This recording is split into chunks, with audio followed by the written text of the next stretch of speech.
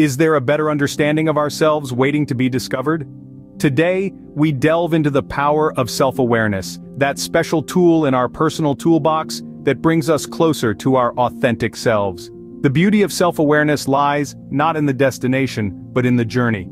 It's the process of unraveling our thoughts, emotions, motivations, and desires, piece by piece, layer by layer. It's about recognizing our strengths and acknowledging our weaknesses, giving us the opportunity to improve and grow. Imagine holding up a mirror to your soul and candidly evaluating what you see. That's self-awareness. But there's more. Self-awareness also acts as a catalyst for our emotional intelligence.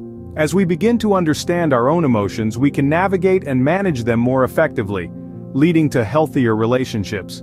Because when we truly understand ourselves we naturally become more empathetic and understanding towards others. So how do we cultivate this powerful tool? The journey begins with introspection and reflection. Carve out some time in your day to reflect on your actions, feelings, and decisions. Challenge yourself with tough questions and be open to discovering new aspects of your character.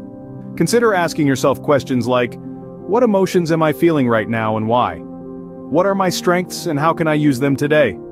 In what areas do I need to grow and what steps can I take?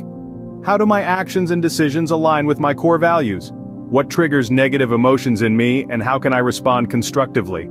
It's important to remember that self-awareness isn't about achieving perfection, it's about recognizing and growing from our imperfections. It's a continuous journey, one that brings us closer to our true selves and enhances our interactions with the world around us. So why not start today? Take a moment for self-reflection.